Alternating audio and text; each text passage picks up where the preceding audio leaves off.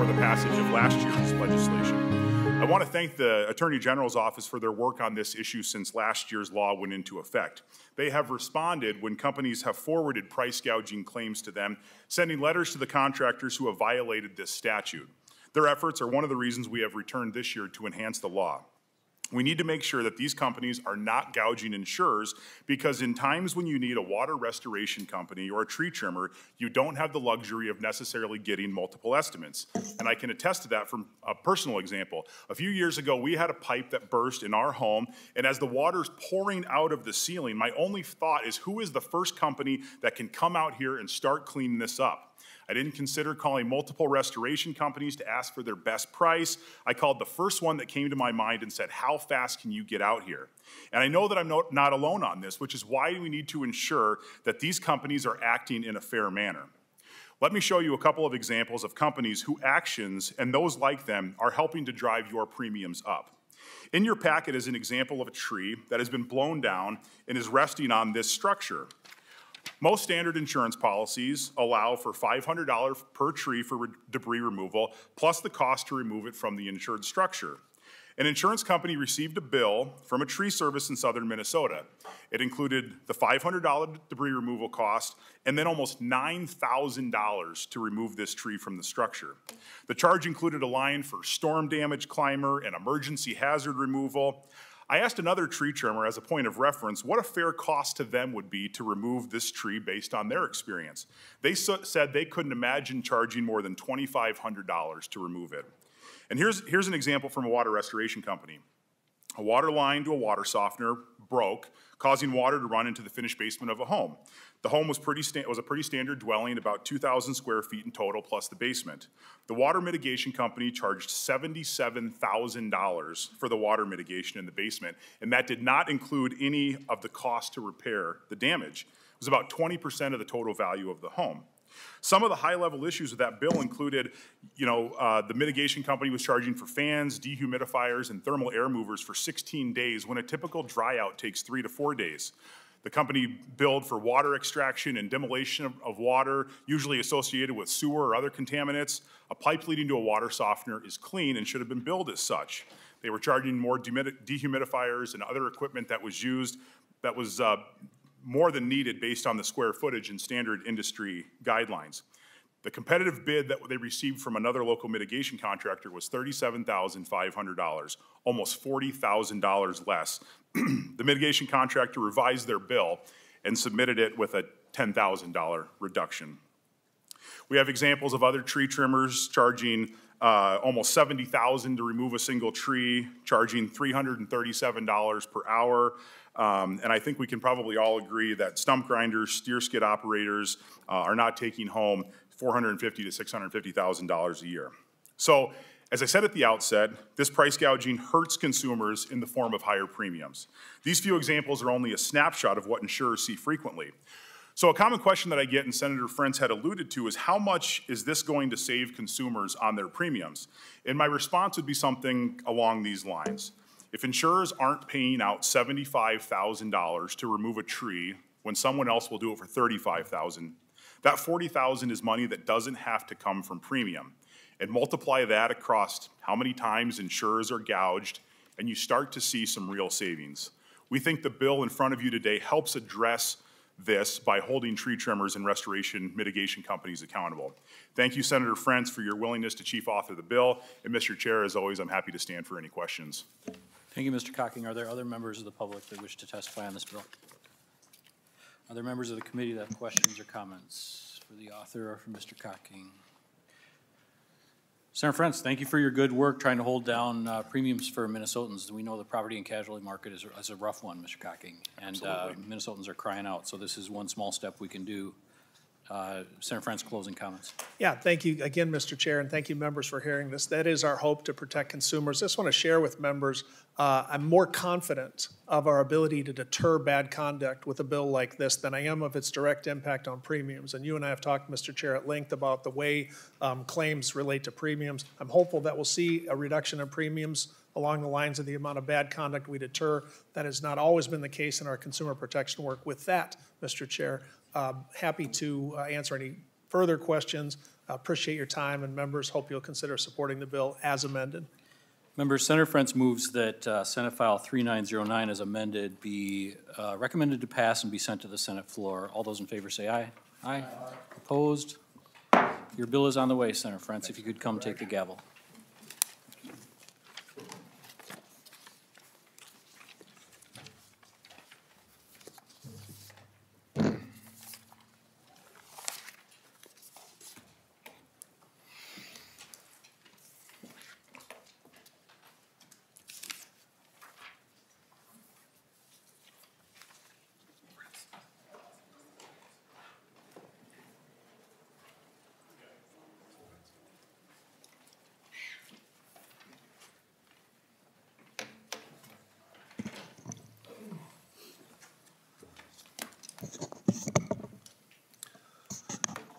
Thank you, members. Uh, We'll now move ahead on the agenda with Senate File 2003. Senator Klein, welcome to your own committee, to your bill. Thank you, Mr. Chair and committee members. Thank you for hearing Senate File 2003. I have the A12 as an author's amendment. Senator Klein offers the A12 amendment. Senator Klein to the A12. Uh, So delete everything amendment, Mr. uh, Chair. I will walk through it as we discuss the bill. All right, members, any questions regarding the A12 amendment? Seeing none, members all in favor of adopting the A12 amendment to Senate File 2003, say aye. Aye. All opposed? The amendment is adopted. Senator Klein to the bill as amended. Mr. Chair and members, Senate File 2003 as amended by the A12 is the ticket transparency bill, um, sometimes referred to as the Taylor Swift bill. Uh, The event that sort of precipitated this bill, not only in Minnesota but across the nation, was the flood of uh, people in Minnesota that were trying to get tickets to a singular event um, and often were outcompeted by bots or were surprised by unexpected fees at the end of their purchase process.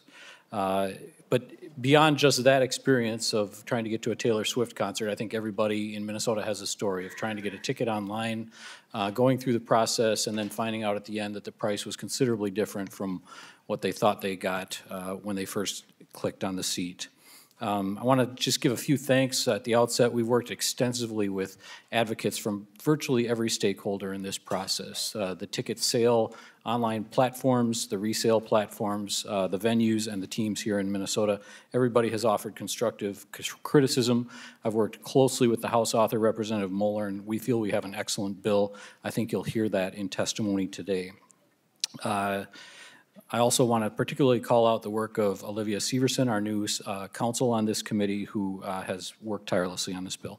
There were four major principles we wanted to respect and accomplish uh, with the passage of this bill. One is upfront pricing, which means that the price you see when you first float over a seat uh, on a purchasing platform is going to be the price that you'll be expected to pay when you check out. Uh, You won't be surprised at the end of the transaction by 40 more dollars in fees uh, while you're on the clock to make the purchase.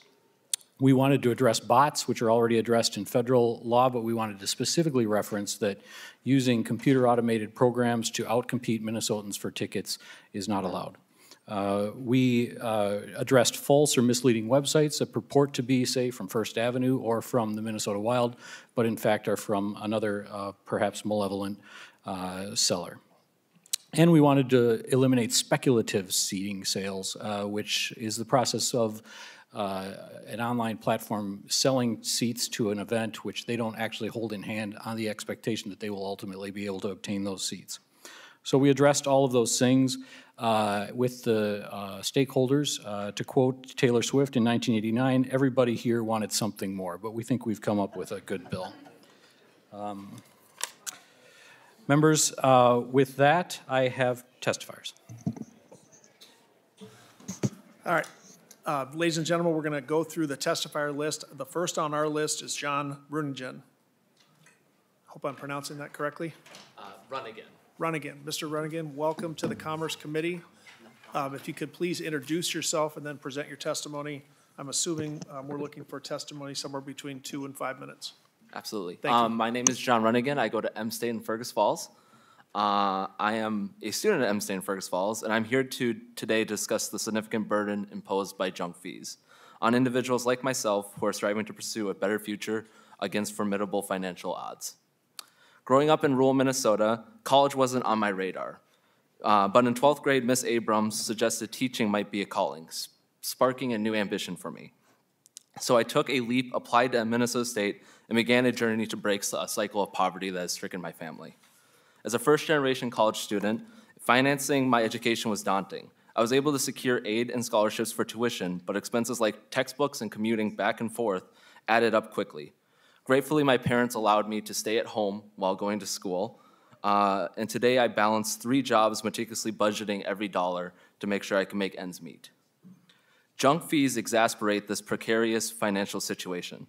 These seemingly inconsequential charges, which are tacked onto everything with little explanation and transparency, add up quickly and disproportionately affect individuals like myself who are already teetering on the brink of financial instability. For example, I saved up to take three of my friends to go see NF at the Armory. Uh, uh, the tickets were about $220, but by the time I completed my purchase, the cost soared to nearly $400. The extra charge wasn't going to the artist or even to support the Armory. It's a service fee tacked on by some wealthy corporation for a service I'm never going to see. This makes it impossible for cons- customers to accurately compare prices because they're always tacked on to the end of the transaction. This, the legislation to end junk fees for online ticket buyers is a critical first step. Mr. Runningen, just excuse me for a minute. Sir, if you would mind taking a seat? Okay, thank you very much. Please continue. No problem. Uh, the legislation to end junk fees for online ticket buyers is a critical first step to in- addressing this injustice. So please pass Senate File 2003 and level the playing field. Mandate transparent pricing so consumers can shop around and make the best decision about how to spend their hard-earned money. Fight for Minnesotans' working families and ensure we are treated with dignity and respect. Thank you for your time. Thank you very much, Mr. Runningen. Next on our testifier list is Mike Dean, and then following Mr. Dean, Ted Dusing. Mr. Dean, welcome to the Commerce Committee. Please start by introducing yourself. We're looking for two to three minutes of testimony if that works. Thanks Sounds very good. much. Fire away. Thank you, Senator Frentz, members of the committee. My name is Mike Dean. I'm the Executive Director at North Star Prosperity. Uh, we seek to build an inclusive economy for all Minnesotans. Uh, before I begin my testimony, in full disclosure, I have to share that I am the Vice Chair of the Taylor Swift Fan Club here at the State Capitol. And so um, just keep that in mind as we go through the testimony. I want to thank the President of the, the Taylor Swift Fan Club, Chair Klein here, uh, for bringing forward this critical legislation. Sorry, I just outed you. Hope you, you don't mind this critical legislation. Um, this is really uh, an important issue. Um, it's impacted me personally. Uh, next weekend, I'm going to bring my 12 year old daughter to the women's Big Ten basketball tournament to see the phenom uh, Iowa star, Caitlin Clark. Uh, my daughter's unwavering love for women's basketball began at just the age of four when I took her to a Lynx game. Since then, she's been captivated, uh, both as a spectator and as a player. Witnessing her dedication uh, to the sport has been immensely fulfilling as a father, uh, while she learns to challenge herself, set goals, and overcome obstacles. When she expressed interest a few weeks ago to attend the Big Ten tournament, I just couldn't refuse. I promptly went online to purchase tickets at $75 each, thinking that she could even bring a friend along for that price. But I was not done. Right before I hit purchase, they added a facility fee of $112, a handling fee of $6.18, and a service fee of $87.92. So those $300 tickets rose to $506.10. Why are these prices shrouded in mystery? Why can't companies just simply disclose these fees up front? And how have they managed to evade this accountability for so long? Right now, ticketing vendors like Ticketmaster are permitted to levy these junk fees that don't correspond to any service or product. As consumers, we feel we have no choice but to pay up. This practice of price gouging has persisted for years, driving ticket prices far beyond the advertised rates. It's bad for Minnesotans, it's bad for small businesses.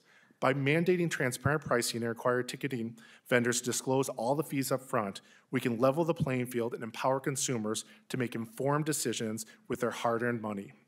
And in pricing boosts, market competitiveness makes comparison shopping easier for consumers and reduces the overall costs. Studies have shown that the junk fees and drip pricing not only complicate comparison shopping, but also result in consumers paying significantly more for tickets, often up to 21% more than the advertised price. Let's champion fairness and empower consumers in Minnesota by mandating transparent pricing eh, that price fixes um, thereby promptly uh, promoting healthy competition and shielding consumers from the scourge of hidden fees. Together, we can ensure every Minnesotan has opportunity to make informed decisions uh, with their hard-earned money. Thank you very much. Thank you very much, Mr. Dean, for your testimony. Next, uh, Todd Dusing, please come forward and testify, and following Mr. Dusing, we'll have Tyler St. Clair. Mr. Dusing, hope I'm pronouncing that correctly. That's correct, thank you. Um, Welcome to the Commerce Committee. Please introduce yourself and offer your testimony again. We're hoping for two to three minutes. Thanks very much. Absolutely. I'm Todd Dusing, President and CEO of the nonprofit arts presenter and operator Hennepin Theatre Trust. Thank you for allowing me to provide testimony in support of this Minnesota bill aimed at protecting consumers from unfair practices by ticket resellers. This legislation represents a critical step forward in safeguarding the rights and interests of Minnesotans in the realm of ticket purchasing. By supporting SF 2003, together we affirm and protect our belief in the intrinsic value of the arts and their power to elevate the human spirit, unite communities, and positively impact local economies. Ticket resellers, often operating in a largely unregulated market, have been known to engage in practices that harm consumers, including exorbitant markups, hidden fees, and deceptive advertising. These bad actors dupe the consumer by manipulating the online marketplace to represent themselves as the official ticket source or falsely represent that they have ownership of the most desirable tickets, when in fact they do not. These practices not only exploit unsuspecting customers, but also undermine the integrity of the attendee experience. By implementing measures to regulate ticket resellers and ensure transparency and fairness in ticket transactions, this bill seeks to level the playing field and empower consumers to make informed choices. It aims to curb predatory pricing practices and establish mechanisms for recourse in cases of fraud or misrepresentation. The nonprofit arts and entertainment presenter will no longer have to be beholden to remedy a bad actor's dishonesty in order to preserve its reputation and relationship with event goers. Furthermore, this legislation aligns with Minnesota's commitment to promoting consumer rights and fostering a marketplace that operates with integrity and accountability.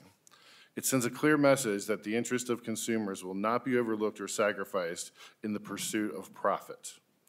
Your leadership on this bill exemplifies your commitment to support nonprofit arts organizations like the Hennepin Theatre Trust and our quest to deliverable, deliver memorable experiences to individuals and families across the state of Minnesota. I commend the legislators who have championed this bill and their dedication to standing up for consumers across our state. I'd particularly like to recognize the chair, Senator Matt Klein. His leadership underscores the importance of enacting meaningful, meaningful protections for all Minnesotans in all sectors of consumerism. I'd also like to recognize the bicameral partnership between the chair and Representative Kelly Moller. Thank you for not only championing consumer protection, but for also being guardians of the goods that are important to our quality of life. Thank you. Thank you very much, Mr. Dusing. Next up, uh, Tyler St. Clair. Following Mr. St. Clair, we'll hear from Howard Waltzman.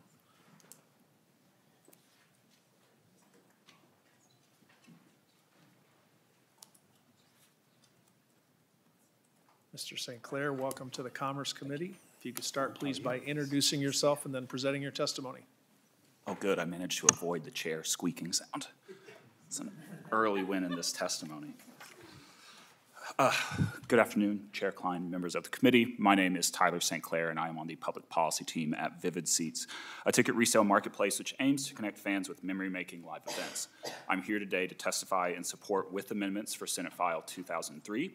We very much appreciate the opportunity to provide our perspective on how best to protect ticket purchasers in Minnesota. Vivid Seats offers award-winning customer service. We have been routinely featured on Newsweek's list of best companies for customer service and ticketing. We accompany that service with the leading loyalty program in the industry that rewards every purchase. And since our loyalty program's inception, Minnesotans have earned hundreds of thousands of dollars worth of reward credits through Vivid Seats. Every ticket sold on Vivid Seats is backed by our 100% buyer guarantee. We support this guarantee with a 300-person call center in Texas, and we are also a proud partner of Major League Baseball. And beginning next year, a fan can buy a ticket on our app and then use our app to enter any MLB stadium. People buy tickets from us not only because of our excellent customer service, but also because many times tickets offered on our site are priced at less than face value. Last summer, the Sports Fans Coalition published a study that examined resale prices paid by fans over a five-year period on resale marketplaces and found that fans saved over $260 million on sports tickets by buying them on the resale market. We support the pro-consumer intent behind Senate Bill 2003 and appreciate the sponsor's interest in our industry. We look forward to continuing to work with him on this effort, and in particular, we have provided suggested edits to the bill to ensure that competition between live event marketplaces continues to thrive for the benefit of Minnesota consumers. Um, Although there are several concepts in this bill that we support, including clear pricing disclosures and prohibitions on deceptive marketing practices, we are concerned that certain provisions in this bill may have an unintended anti-competitive impact. However, we are very glad to see the author's amendment regarding the definition of a ticket, which we believe to be a pro-consumer addition that will benefit fans. Um, Again, we are concerned with some vague language in the bill that could prohibit resale sites from describing tickets for resale and appear to prohibit the use of seating charts to direct fans to seats.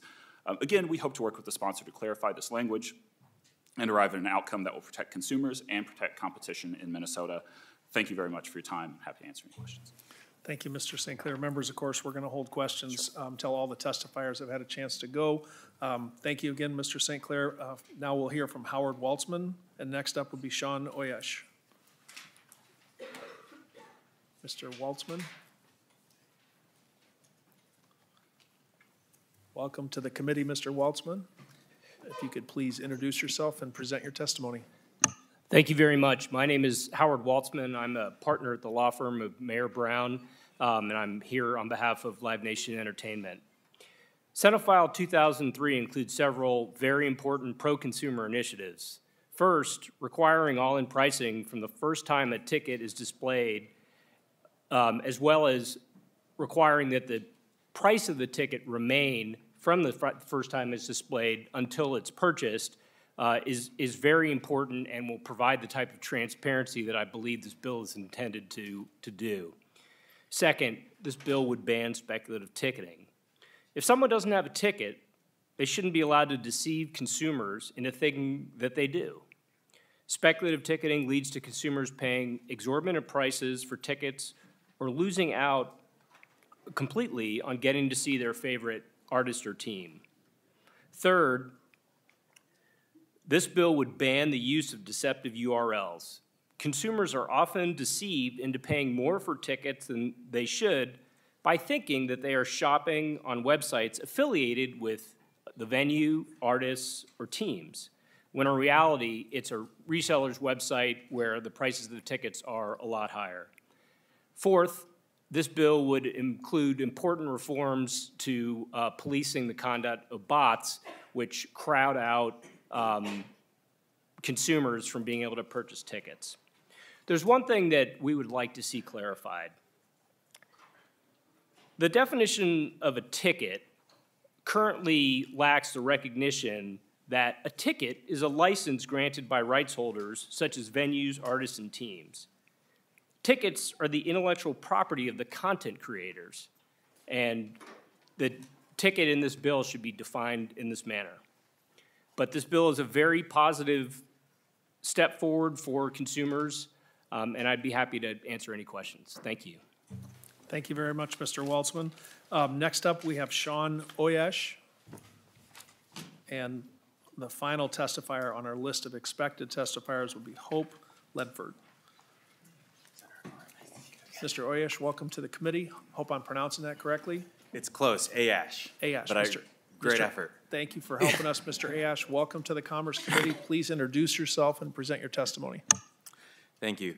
Chairman, members of the committee, thank you for the opportunity to participate in today's hearing on Senate File 2003. My name is Sean Ayash, and I am the State Government Relations Manager at StubHub. StubHub is supportive of this bill with amendments. Um, we applaud the sponsor, Chair Klein, for his interest in our industry and intent to craft legislation that empowers Minnesota's consumers. We hope to continue to work with Chair Klein and have respectfully offered amendments aimed at fostering safe, transparent, and competitive ticket marketplace in Minnesota. What is StubHub? As some of you may know, StubHub revolutionized the ticket resale marketplace by taking ticket resale off the streets and bringing it online. As the world's leading ticket marketplace, we provide a platform that allows buyers and sellers to connect. We do not buy tickets for the purchase of resale. We do not set the price of tickets listed on our site. What we do is provide customer service in those transactions. and security through our Fan Protect guarantee. Put simply, we provide choice for consumers. StubHub supports public policies that empower consumers and ensure a safe, transparent, and competitive ticket marketplace. We believe a competitive marketplace provides consumers greater access to the events they want to experience and ability to purchase tickets at a fair and market-driven price. We support many of the concepts contained in SF 2003, including pricing disclosures, further prohibitions on the use of bots to purchase tickets, and prohibitions on the use of deceptive URLs to market tickets to consumers. There are, however, opportunities for enhancements. The current bill prohibits the sale of tickets prior to a public on sale. This provision is designed by places of entertainment to eliminate competition in the marketplace. Ticket holders frequently obtain the rights to tickets prior to any public on sale. While speculative ticket sales would already be prohibited under this statute, this provision further prohibits actual ticket holders from offering their tickets for resale prior to the public on sale process. If I own the tickets, shouldn't I have the choice to do with them what I please? StubHub also conceptually supports disclosing all necessary elements to ensure purchaser is getting what they need from a ticket. However, as written, we are concerned that SF 2003 would allow places of entertainment to retaliate against consumers who resell, donate, give, or give away tickets to events they can no longer attend. StubHub is a proud participant in the Minnesota economy. In the last 12 months, over 500,000 tickets have been purchased on StubHub to events in Minnesota. And over, the, over that period, we've brought folks from all 50 states to events in Minnesota. Thank you for the opportunity to share our perspective. We respectfully ask to continue to work with the sponsor and stakeholders on legislation that creates a more competitive marketplace and empowers Minnesota consumers. Thank you very much. Thank you, Mr. Ayash. Um, Members, we're going to hear now from Hope Ledford. Ms. Ledford, if you could come forward, please. Welcome to the Commerce Committee. Please introduce yourself and present your testimony. Thank you, Senator, and thank you, Chair Klein. My name is Hope Ledford, and I serve as policy analyst for Chamber of Commerce, or Chamber of Progress, sorry, a tech industry coalition committed to ensuring all Americans benefit from technological innovation. Our corporate partners include companies like StubHub and Vivid Seats, but do not have a vote on or veto over our positions. We appreciate the amendments on this bill, but oppose SF 2003 as written, which would limit the ability of consumers to resell their tickets and benefit dominant ticket selling companies like Ticketmaster. We largely agree with the comments of consumer groups that have already spoken, but would like to add a few points. First, this bill prohibits speculative ticket sales, which could limit market innovation and consumer choice. The online resale market is especially beneficial for consumers unable to purchase tickets from original sellers, like Ticketmaster, within the time frame due to work or personal conflicts.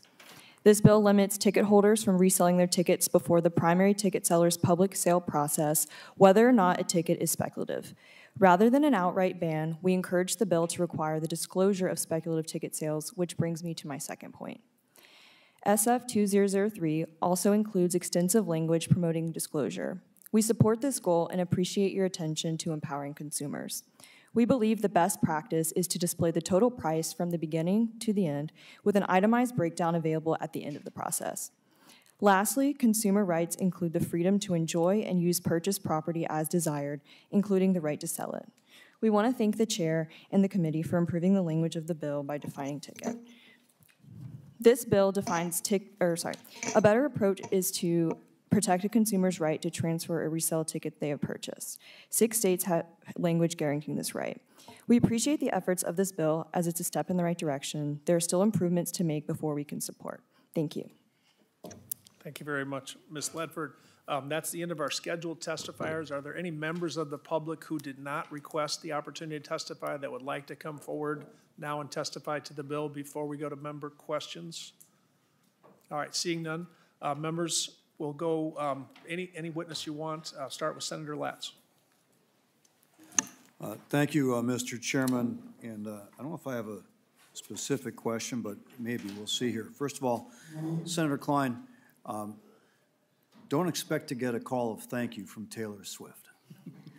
Um, I can tell you, years ago, I carried the Hannah Montana bill, and Miley Cyrus has still not called me to express her appreciation uh, for my trying to make her tickets more accessible to her fans. Um, And uh, to Mr. uh, uh, Dusing from the Hennepin Theatre Trust, I saw Clue last night. I don't know if you're still here. It's fantastic. I recommend everyone who gets a chance, go see Clue at the Orpheum. It's just, it's a laugh for the, all the way through.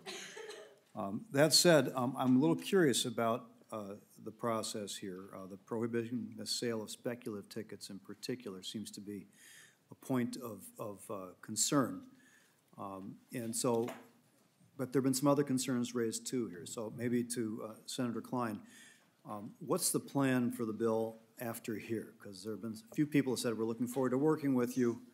Um, Is it expected this bill is going to go to the floor? Is it going to another committee?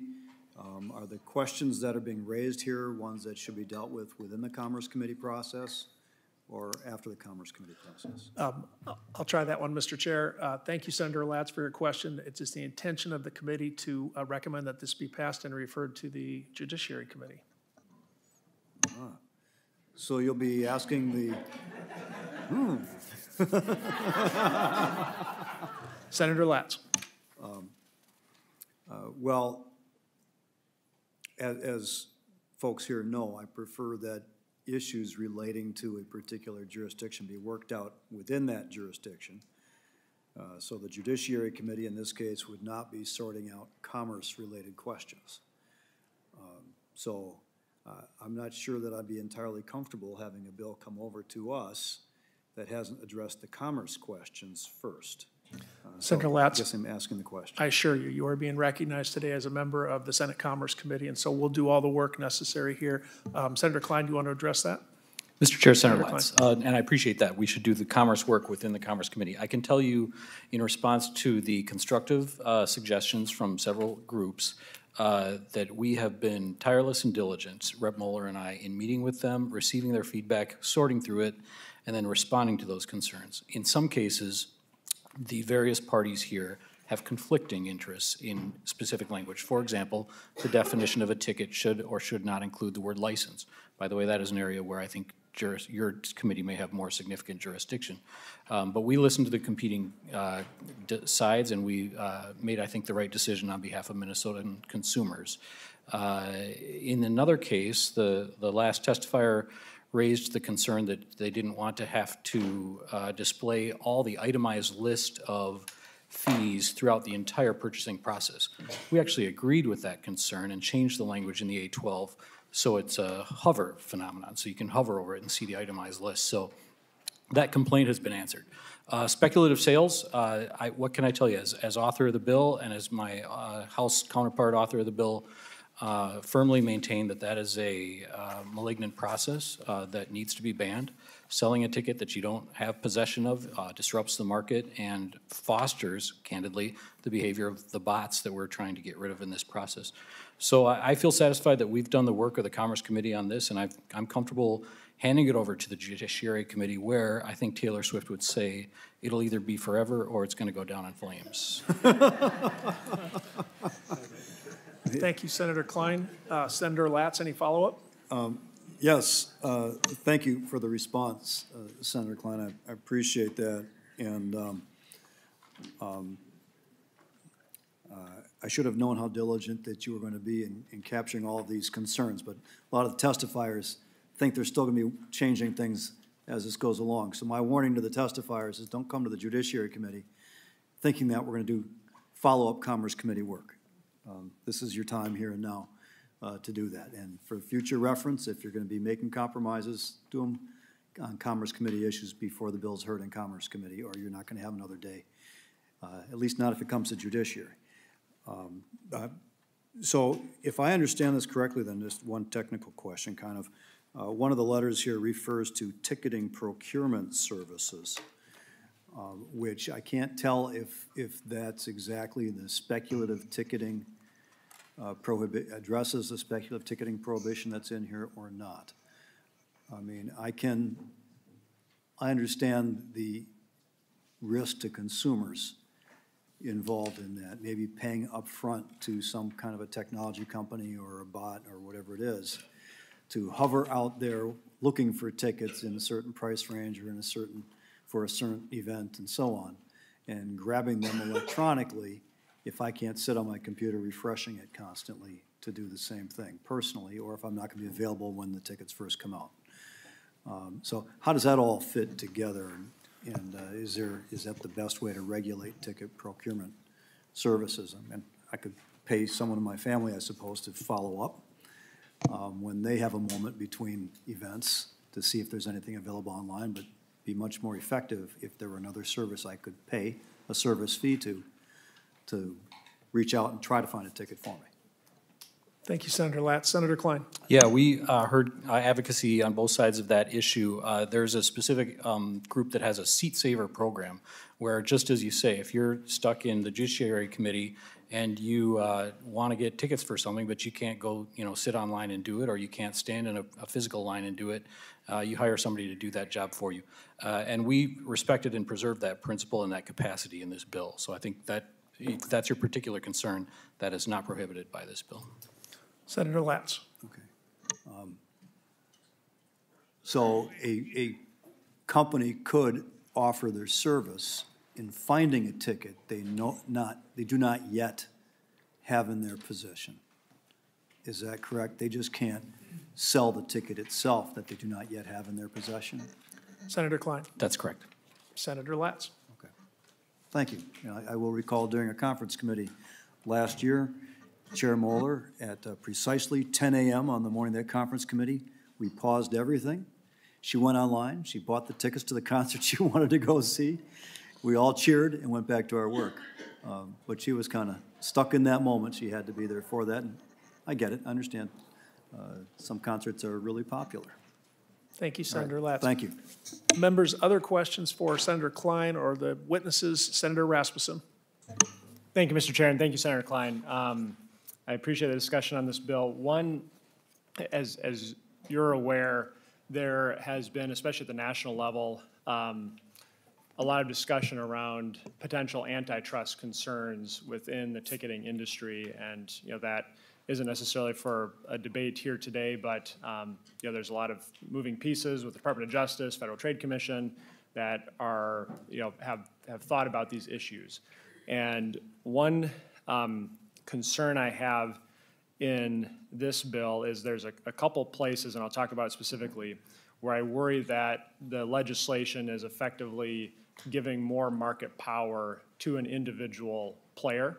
Um, and there, there's two places in particular in the A12 amendment. Uh, if we look at starting at line 3.26 down to 3.30, um, the prohibition on uh, effectively pre-sale of tickets, except if they have permission from the place of entertainment. And so for me, that is a, a very core commerce issue where we're effectively giving more leverage to one player in the, in the ecosystem where they could permit or grant permission, but if you had a, a uh, fan club that got access to earlier tickets that wanted to have a pre-sale opportunity or another market participant that they would be excluded or could be excluded by a single actor in the marketplace. Um, So I just would love to hear your response to that and and if that's something that we're willing to address um, in this bill. Thank you, Senator Rasmussen. Senator Klein. Uh, Thank you, Chair and Senator Rasmussen. This is an issue that we spent a lot of time thinking about. Uh, And I guess I'll just name the, the, the industry that we're speaking of specifically. Um, There's a, a dual relationship, there's an ownership relationship between Live Nation and Ticketmaster where they operate both as an operator under our terms of definition and as a ticket reseller. Uh, And in our original language, the section that you describe, um, we had without first obtaining permission from the operator. Uh, And that would have been problematic on behalf of that particular business because they would easily obtain permission from themselves. Uh, So we changed that to the place of entertainment to address the very concern that you have. So now they have to obtain permission from First Avenue or from the Xcel Energy Center uh, to do uh, these sort of pre-sale items. And I think it avoids the monopolistic concerns that you're concerned about. Thank you, Senator Klein. Senator Rasmussen. Thank you, Mr. Chair, and thank you, Senator Klein. I guess my- my concern is still, um, you know, if you had an artist that perhaps wanted to offer for pre-sale to a fan club, or you had another entity that wanted to offer pre-sale, now they have to go to a specific entity to get their permission that may or may not have a contract with the operators or other things that could prohibit them from doing something like that unless it was through their platform perhaps that operator is the one who can get exclusive permission from the venue to offer the pre-sale. And so I just have concern that we're giving uh, uh, something of commercial value within this ecosystem uh, very explicitly. And then the other place where I see this coming up is on uh, 4.21 and 4.22, where we talk about um, the, the opportunity to, uh, you know, resell tickets and about how the operator, the online ticket marketplace or ticket reseller, um, you know, one of the options is for them to have a written contract with the place of entertainment to obtain the ticket. And, and I would be concerned there that certain operators might be able to get those contracts and to have a preferred relationship, and that could potentially box other resellers or uh, online ticket marketplaces from participating in those transactions. And so I'm, I'm just concerned that in those two places, we specifically call out the, the place of entertainment can grant permission to other market participants to have privileges that other, other market participants can't. And so I just worry that, are we perhaps putting the thumb on the scale for one market uh, player in this uh, conversation? Thank you, Senator Rasmussen. Senator Klein, do you want to comment? No comment. All right, thank you. Members, Senator Duckworth. Uh, Thank you, Mr. Chair. I appreciate it. Just a couple of quick questions. Um, I highlighted, I think, um, almost the same uh, portions of the bill that Senator Rasmussen talked about, so I won't rehash some of that. I do want to start off by saying there are some aspects of the bill I I think are good. Some of the disclosure stuff, some of the prohibitions, uh, I think are great. Um, I have a question as it relates to these two words, and they're found in the bill in a couple of spots, but the first one is line 3.28, um, and it's the term constructive possession. It talks about uh, whether one of these entities or a person having actual or constructive possession of such a ticket. I'm just curious um, what is meant by, or could you describe what, what the law intends as it relates to constructive possession? Thanks, Senator Duckworth. Senator Klein. Uh, Mr. Chair, Senator Duckworth, you know, I might actually ask if uh, Senate Counsel has an opinion on that. I, I uh, hadn't looked at that language very closely. Uh, I, I think maybe just the word actual possession would probably be sufficient. Constructive may describe a different phenomenon, but I wonder if counsel has an opinion. Thank you, Mr. Chair. Ms. Severson. Thank you, Mr. Chair, members. I believe the thought process behind that was if we had someone who held um, like season tickets, so they don't, maybe don't actually have the physical actual possession, but they know they're going to have them in, you know, for the next several years. So um, I th- believe that was the thought process behind that. Thank you, Ms. Severson. Senator Duckworth. Uh, Thank you, Mr. Chair. I appreciate that, and uh, I can appreciate, appreciate that maybe being an example um, of what that might mean or, or what have you. I, I see it as a, it- it's a, a portion of the law that when I read it, uh, leaves, I guess, a little bit of uh, vagueness or ambiguity in my mind as to what that actually means and how it might apply. It's not a criticism of your bill, but just a, a reality of when I read it, okay, what, what does that actually mean? And how do we expect a layperson out there to, to know what the law may or may not allow them to do? Which leads me kind of to another portion of the bill. Um, On page four, lines four point seven through four point one seven, the things a person must not um, and specifically lines four point one one through lines four point one three. And I just ask myself, you know, how does that apply to somebody who's trying to, to buy, you know, some tickets on behalf of a friend or a relative? And it sounds like maybe some of that was discussed earlier, I had to step out. And I don't need you to answer the, the question right now, uh, Senator Klein, but that's, when I look at the practicality of the law and how it will be implemented and how it might actually impact realistic situations where, uh, let's say, uh, I'm gonna, I'm gonna use my mom as an example. Let's say she's on a flight and she doesn't have the access or ability to go in and buy tickets, and she has asked me to do it on her behalf. Well, am I now violating the law? And am I gonna get in trouble? Did I disguise uh, my identity as uh, Mama Duck, you know, to go ahead and buy some tickets or no? Uh, and I think that's some of the realistic scenarios people are going to find themselves in, and did I violate the law or not? And last but not least, um, uh, constructive possession is again uh, uh, mentioned uh, on line 4.19, but just above that talks about ticket reseller, and they can't sell a ticket. And the way I read the bill is that really applies to anybody. Um, And so I just want to make sure that, that we know what the full scope of the law is and how it's going to apply to the very realistic scenarios of somebody, um, you know, just wanting to resell a ticket because they can't make it to the wild game anymore, uh, and/or their buddy or friend asks them to buy them on their behalf so that they can get the best price, which is, I, I think, what we're trying to do or accomplish. Thank you, Mr. Chair. Thank you, Senator Duckworth. Senator Klein, we're going to go to Senator Howe for the next question unless you want to comment. All right, seeing that, Senator Howe. Uh, Thank you, Mr. Chair, and uh, Senator Klein, I, I appreciate the bill. Uh, But I'm going to go back to my other chamber days when, uh, especially when we were in conference committees, which we don't have very often here for some reason, but uh, some of us wouldn't have anything to do for a while, and, hey, there's a Twins game going on, and we would just hop on and head over there, and we would pick up a, a couple of tickets. The game has started. You got some scalpers. They've got tickets out there. You buy them for a third of the cost, and in the game we go.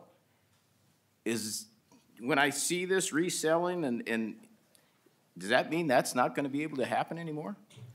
Senator Klein. Uh, Mr. Chair, Senator Howe, as I understand the bill, uh, your trip to the Twins is safe. Uh, That's not prohibited by the bill. Senator Howe. Thank you, Mr. Chair. So, so standing in line and buying a whole batch of tickets and then standing on the corner and reselling them is not prohibited by the, by this bill? Because it certainly looks like it is. If I buy somebody else's, if I buy a ticket, uh, employ someone else to directly or indirectly wait in line, uh, I, I just, how does that not fall into that section of the law? Senator Klein. Uh, Mr. Chair, Senator Howe, can you point me to the precise part of the bill that you're looking at? Sorry, yeah, yes, three point one eight and to three point two zero. Okay, so the, the limitation on employing a person indirectly or directly to wait in line is only prohibited if the place of entertainment has prohibited it and posted that.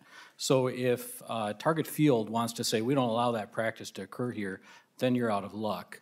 Um, But otherwise, I, I don't think they have a policy like that in place, and you're going to be fine. Senator Howe, any follow-up? I just, I guess I'm, I'm concerned that uh, they could do that, and then actually everything would have to go through StubHub, and somebody couldn't actually, I suppose, speculate on the, on the, the Yankees game or whatever, buy a bunch of tickets, and then stand out there and actually try to get more than face value. Uh, And while that might not set well with a lot of people, but I think that's uh, kind of the American way to take your risk and make a dollar and, or not make a dollar. So uh, uh, I guess that's my concern. I, I still think it's, it's concerning, and I'll have you know that I haven't had that opportunity since I came over to the Senate. Thank you, Senator Howe. We're going to go back to Senator Rasmussen. Senator Rasmussen. Thank you, Mr. Chair, for indulging one, one last follow-up question. And, and I uh, wanted to speak as Senator Howe pointed out another place in the bill where we are effectively giving power to the place of entertainment um, to be able to determine other commercial terms. And one of the, one of the concerns I have is if we look at uh, some of the, the largest ticket retailers, they oftentimes or can have ownership stakes in the venues themselves. And so I, my question, Mr. Chair, for Senator Klein is, are, are you concerned that, you know, the uh, few places we've discussed today where we're giving this power to the place of entertainment, that we could perhaps be making this, uh, this issue worse by empowering some of the large incumbent ticket retailers to box out their competition using language in this bill? Thank you, Senator Rasmussen. Senator Klein. Mr. Chair, Senator Rasmussen, I, it's a thoughtful uh, proposition. I will tell you, I haven't spent a lot of time thinking about it. If you could provide me with specific examples where an online marketplace had an ownership interest in a place of entertainment in the state of Minnesota, that would be helpful. Uh, If it is an issue that I have sort of neglected in the creation of this bill, I'd be glad to hear your thoughts going forward, um, but I do not hold your concern at this time. Thank you, Senator Klein. Senator Rasmussen, any follow-up? Or do you want to cite any examples for the members of online ownership of venue or anything else that addresses that question? To Senator Latz's point, we're trying to address the commerce issues here, uh, and the motion will be to send it to the Senate Judiciary Committee. Any follow-up, Senator Rasmussen? Thank you, Mr. Chair, and th- thank you, Senator Klein. And I, I know Live Nation Ticketmaster will sometimes have ownership stakes in venues. I don't know specifically in Minnesota what their portfolio would be. Um, But the, the concern would be, are we uh, picking specific market incumbents and giving them more power with the language in this bill? But I'm happy to uh, continue to have that conversation with you. I just want to make sure we're not, um, you know, picking a winner in this bill. Thank you, Mr. Chair. Thank you, Senator Rasmussen. Members, any other questions before we go to the author for closing comments? Again, the intention is to send it to Senate Judiciary. Any closing comments, Senator Klein? I do, Mr. Chair and members. Thank you so much for hearing the bill. It's been fun to work on it. It's been a pleasure uh, to work with the many advocates um, here in the room. Uh, I'm thrilled to pass this on to the Judiciary Committee. There are no sort of uh, bad actors in this room, but uh, if there were, we can make the bad guys good for more than a weekend here. And uh, thank you for hearing the bill. Thank you, Senator Klein. Members, uh, Senator Seeberger moves that we send Senate File 2003 uh, as amended to be recommended to pass and be re-referred to the Committee on Judiciary and Public Safety. Uh, All in favor, say aye. Aye. All opposed? Uh, The recommendation is passed, and Senate File 2003, as amended, will be sent to Senate Judiciary Committee. Thank you.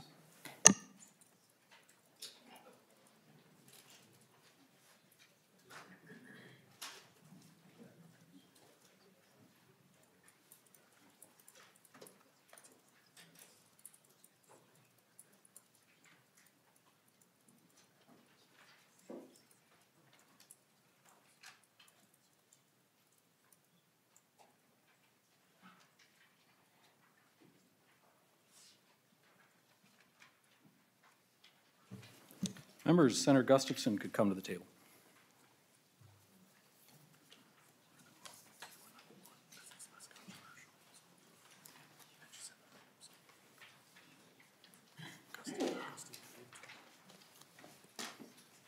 Welcome to the committee. Senator Gustafson, Senate File 3530 is in front of the committee. Please proceed. Thank you, Mr. Chair and committee members. Uh, Before you is Bill Senate File 3530, which prohibits the possession, sale, or manufacturing of all cell phone cases that look like firearms. A quick internet search of cell phone cases will show how realistic these phone cases are to handguns. Um, I believe there is a handout there uh, that is being distributed to all of you. Our public safety officers have to make fast decisions, and it isn't safe for anyone to have cell phone cases that resemble firearms. Furthermore, if you remove the phone from the case, you provide a very realistic-looking prop that can present several dangerous scenarios. These cases are not real firearms. Prohibiting them has nothing to do with Second Amendment rights. Um, I would also like to recognize Senator Latz, um, who presented this bill in 2016. And when he first brought the bill, he said, quote, "Someday, some kid is going to hold up a cell phone case and somebody could die." On a related note, this, this bill did pass the Senate in 2016, uh, 60 to 0. So we hope um, that it, it- it's a small bill. We hope you will consider it. We do have one testifier, Mr. Chair, whenever you're ready. Uh, Please proceed. Uh, Mr. John Swenson, please come to the table.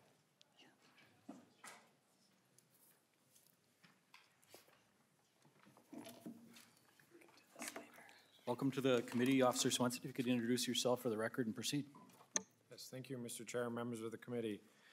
Uh, My name is John Swenson. I'm the Public Safety Director, Chief of Police for the City of Lino Lakes in Anoka County. Uh, Thank you for the opportunity to testify in support of Senate File 3530. And I would like to thank uh, Senator Gustafson for her work on this legislation. Uh, I have had the honor and privilege of serving as a police officer for 35 years in the communities of Minneapolis, White Bear Lake, Lino Lakes, and as an MP in the U.S. Army. It is my sincere belief that this legislation will make our communities safer by ensuring that items made to look like firearms are removed from our communities. There is no reasonable or responsible need to have a cell phone case look like a firearm. The use of items made to look like or fashioned as a firearm have led to tragic outcomes throughout our nation. And Senate File 3530 is one step in reducing these tragedy, tragedies from occurring in the future. I ask that you support Senate File 3530. Thank you. Thank you, Mr. Swenson. Members, do we have questions or comments for the author or the witness? Senator Latz. Mr. Chairman, I'd just like to know if Senator Gustafson will allow me to co-author the bill with her. Senator Gustafson. Thank you, Mr. Chair. Of course, I'd be honored. Any other questions or comments? Any closing comments, Senator Gustafson? Uh, Thank you, Mr. Chair. No, I I, uh, appreciate the committee's support on this, and we look forward to another unanimous vote. Thank you. Apologies, Senator Howe. Thank you, Mr. Chair. And I just have a, qu- a, a quick question as far as the definition of what it looks like, because I, I see the, the pictures. I actually called it up on my phone here. And I agree with you, anything that looks like one, but how about, and I'm just gonna ask the question because I see them here on, online, a cell phone case that has a picture of a gun on it. It's tiny, but that's what I'm asking. Is it ban those or just that, the ones that actually have a handle and look like a gun? Senator Gustafson. Mr. Chair, thank you. Senator Howe, thank you. Um, No, so a cell phone case is just, a- I wish I had my cell phone with me, but a regular cell phone case that had a picture of a gun, that's not what we're talking about. We're talking about literally the ones that in a, you know, in a, in a scenario where somebody had it in their pocket and it looks like a handgun, those present a public safety risk. And I agree. I just wanted to make sure that the intent was, was there. Thank you. Senator Howe. Senator Gustafson, uh, thank you for the bill. Uh, The motion is Senator Seeberger's that Senate File 3530 be recommended to pass and be referred to the Committee on Judiciary and Public Safety. All in favor, say aye. Aye. Opposed?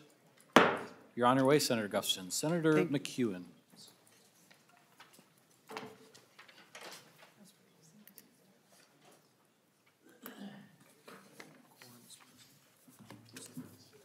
Let me just pull this bill up.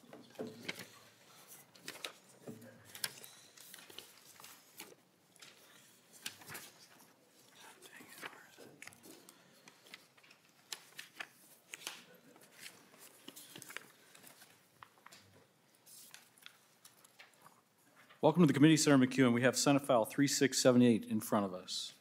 Thank you very much, Mr. Chair. Um, Thank you very much for hearing this bill as well. Senate File 3678 was brought to my office from Representative Liz Olson, um, who is my- one of my House counterparts from Duluth. Um, She had been approached by one of our constituents uh, some years back about an experience that his family had had when they went to the Texas Roadhouse restaurant in Duluth, Minnesota. And I believe that in your packets, there should be a letter from that constituent. His name is Andrew Olson. He wrote a letter uh, detailing the experience that his family had at Texas Roadhouse with this technology called Ziosk. Uh, I know that probably many of us have had this experience with this type of technology. They have it in some restaurants nowadays. You can sometimes order food from these. You can play games on them. It's almost like having a little iPad um, at your table where you can interact with it. So this constituent brought his uh, family to Texas Roadhouse, and the waitress encouraged them to go ahead and use this Ziosk equipment, and his son was playing around with it. And then, then at the end of the meal, he noticed that there was an extra charge. It was $1.99, which is not a large charge, but there wasn't, he didn't know what it was for, and he asked the waitress, uh, what was this charge for? And she said, oh, well, that, that's the charge from the Ziosk. That's uh, uh, this small charge. And so he, he, the, the family had to experience this whole uncomfortable moment where the, the little boy who had played with this uh, felt bad because he didn't mean to spend any money and he didn't really realize what he was doing when he was just playing with this game. So, like a good constituent, this uh, gentleman brought this issue to his legislator and said, This seems, I know it seems small, but in aggregate, this is actually a really big deal. And when he looked into it, he found out that this company actually was marketing itself. Um, you can see in the back of the letter toward the end, um, their marketing says, let Ziosk be your ultimate revenue booster with on screen promotions, engaging content, and fun games that not only entertain guests, but also drive incremental dollars.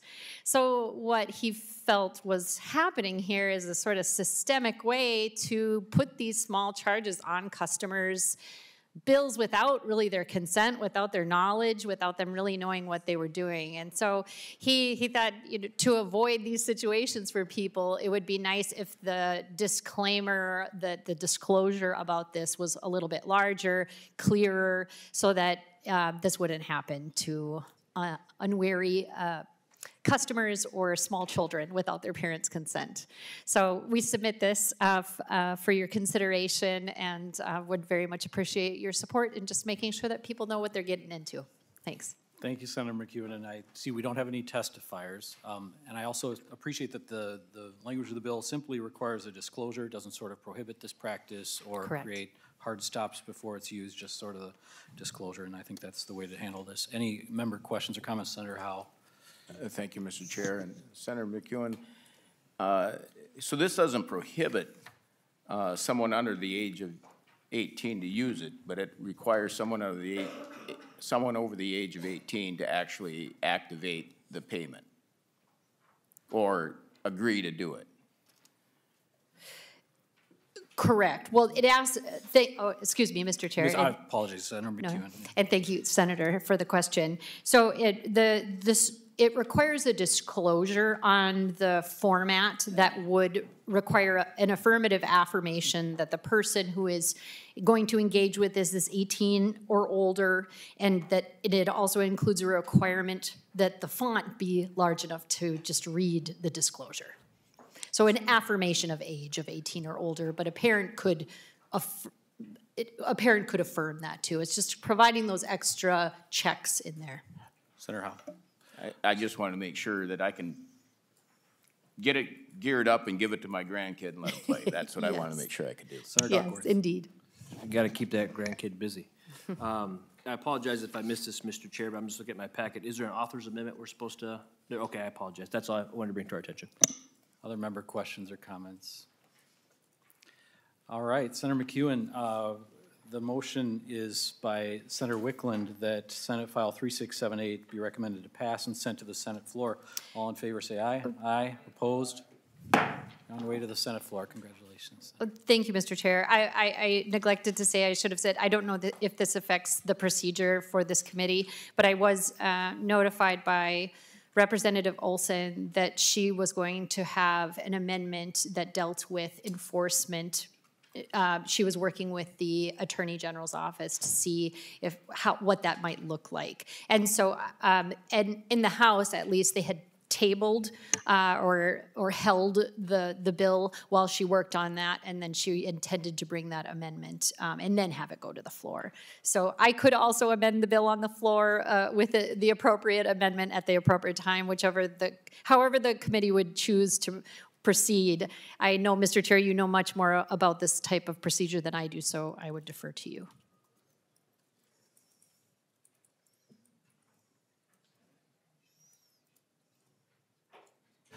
All right, we'll, we'll work on that going forward. Thank you, Senator McEwen. Thank you very much. Thank you, members.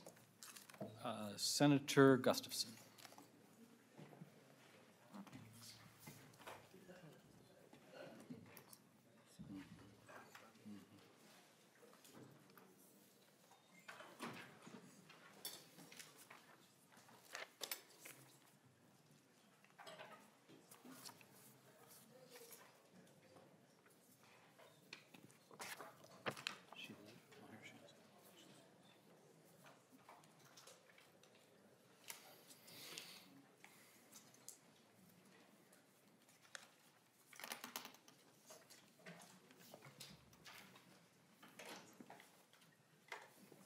Welcome back to the committee, Senator Gustafson. Thank you for being flexible to accommodate uh, Senator McEwen. Uh, We have Senate File 3932 in front of us, and you have an A1 Authors Amendment, uh, which is offered by Senator Latz. Uh, All in favor of the A1, say aye. Aye. Opposed? The bill is in the shape uh, that you want it. Uh, Please proceed. Thank you, Mr. Chair and committee, uh, committee members. I'm here today to present SF 3932. This is a bill that protects Minnesotans from lending, harmful lending practices, and supports Minnesota businesses by making out-of-state lenders comply with the same lending regulations that are required for Minnesota lenders. This bill fixes a problem caused by the Depository Institutions Deregulation and Monetary Control Act of 1980, DIDMCA for short. Although that's not much easier to say. Uh, It extended the state chartered banks that the right to support, or right to export the interest rates of their location headquarters to other states. So when DIDMCA uh, was passed into law in the 1980s, um, it's safe to say that those lawmakers did not foresee that a rent-a-bank scheme that we see today. A rent-a-bank arrangement allows online lenders to exceed state limits on loans used to finance the purchase of everything from car repairs to boats. Rent-a-bank schemes are created when a high-cost lender arranges for a bank to put their name on a loan to avoid state lending law. Just last session, we passed a bill to cap rates on payday loans to protect Minnesotans from predatory lending. By exploiting the the DIDMCA rate export provisions, uh, rent-a-bank lenders continue their business um, in Minnesota despite the good work we did last session. So exporting higher rates through the rent-a-bank scheme favors out-of-state banks over local Minnesota lenders who must comply with Minnesota lending law. The bill exercises Minnesota's right afforded by Congress to opt out uh, the rate expor- exportation provision preventing out-of-state lenders from evading Minnesota's lending laws. Iowa and Puerto Rico opted out of this in the 1980s. Colorado opted out last year in response to predatory internet lending. There is no evidence that states have opted out have been subject to reduced credit access or increased lending costs. SF 3932 requires that out-of-state banks lend at rates permitted under Minnesota law, putting them on equal footing with financial institutions in Minnesota. This bill finishes the work of protecting Minnesotans by closing a loophole that allows non-Minnesota banks to import much higher rates than what is allowed by Minnesota state chartered banks. Thank you, Senator Gustafson. We have eight scheduled testifiers. I'm going to speed things up by having you come up two at a time. I'm going to ask you to try to limit your testimony to two minutes or less, and please don't repeat testimony that's already been provided by previous testifiers. We will start with Ann Leland and Christine Westbrook.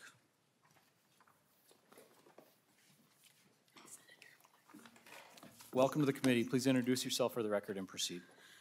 Chair Klein, members of the committee, uh, my name is Ann Leland. I serve as the executive director of a statewide nonprofit called Exodus Lending. We work with financially excluded Minnesotans to get them out of debt traps by refinancing high cost loans, defined as anything over 36%. Since we opened our doors, we've reached more than 700 Minnesotans across 46 counties and saved near, the community nearly 2.2 million in fees that, uh, or in interest and fees that otherwise would have been stripped from our communities. In 2023 alone, we refinanced 41 of these rent-a-bank loans that carried average interest rates of 188%. Let me be clear, these are not short-term nor small dollar loans. These are longer term, higher cost installment loans that are bigger, deeper, and a harder to escape debt trap than the short term payday loans we addressed last legislative session. No Minnesotans should have to pay $6,000 for a $3,000 loan. That's an APR of 160% over 13 months. When our state interest rate on such a loan would be 21.75 if we opted in to opted out of DIDMCA. Put simply, evasion of Minnesota state usury laws by nefarious online actors who are renting a bank partnership with state charter banks outside of Minnesota should not be allowed. We are here to level the playing field to support our own strong network of Minnesota banks, credit unions, and community development nonprofit lenders in providing credits to all Minnesotans. Beyond the numbers in our work are the stories of hardworking Minnesotans who are getting stuck in these online installment loan, rent-to-bank loans. I'm honored to be joined by Christine Westbrook, a responsible Minnesota borrower who took out a loan from OppFi that quickly became unmanageable due to a 200% APR. She is here to tell to share her story today. Welcome to the committee, Ms. Westbrook. I appreciate your testimony. Please introduce yourself and proceed. Chair Kleins and members of the committee, my name is Christine Westbrook. I am a single parent of five kids and I live in Hastings, Minnesota. In 2019, I was going through some financial hardship and a colleague suggested I take out a loan through OppFi. I Googled it and I was drawn in to the promise of quick help.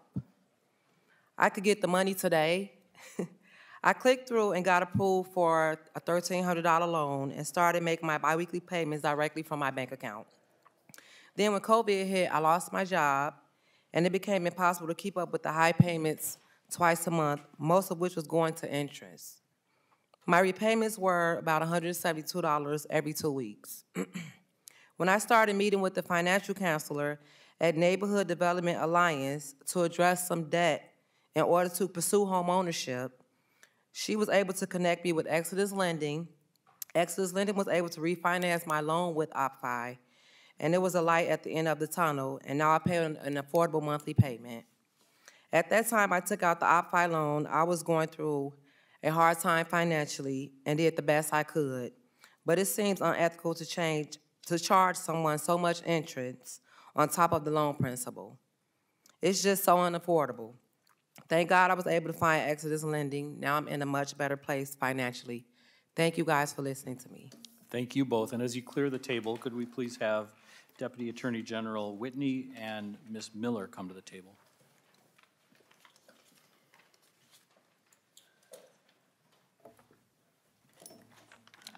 Welcome to the committee, Attorney General. Could you introduce yourself for the record and proceed? Sure. Chair, thank you, Chair. Thank you, Committee. My name is Jessica Whitney. I am a Deputy Attorney General over the Consumer Protection Section here with the Minnesota Attorney General's Office. I've been with the Minnesota Attorney General's Office for a year now, but prior to that, I spent 18 and a half years in Iowa, where I was the administrator of the Iowa Consumer Credit Code along with the director of the Consumer Protection Division down there. So I'm here today to speak in two facets. One, what we're seeing in Minnesota, and to talk about Minnesota interest law to the extent you have questions. And two, to tell you about my experience with Iowa in operating under the DIDMCA opt-out for over 18 and a half years and what I've seen in Iowa up till last year, 2023. So in Minnesota, we're still getting triple-digit interest rate complaints, even though last session we passed excellent measures to try and stop, stop these high-interest loans. Unfortunately, this loophole allows state banks to export their unlimited interest rate into Minnesota and still lend to Minnesotans. Um, Minnesota state banks are capped at 21%, but regulated lenders in Minnesota for small dollar loans are able to lend up to 50%, and loans above 1250 are a blended rate of 33%. That's the table that the legislature decided to set, um, but again, it's being circumvented by the DIDMCA opt-out. So Iowa, Iowa did opt out of DIDMCA. There were about six, seven states that did at the time. Iowa operated for over 40 years under this opt-out. I can tell you it did not create a credit desert in Iowa. We had robust credit. Colorado, who chose to opt out in 2023, did a study or helped commission a study on what it looked like for states who had interest rate limits. They didn't specifically look at the opt out, but they were looking at interest rate studies. And what they found was states with interest rate limits, yes, cr credit was slightly less accessible, but the borrowers were much in much, much better shape. Uh, borrowers were less likely to incur large late fees. They were less likely to be in what we would call financial distress that were caused by, by repetitive high interest loans, which seem to, at first blush, be a life preserver, but are actually a concrete life preserver in that they drown the person in further debt.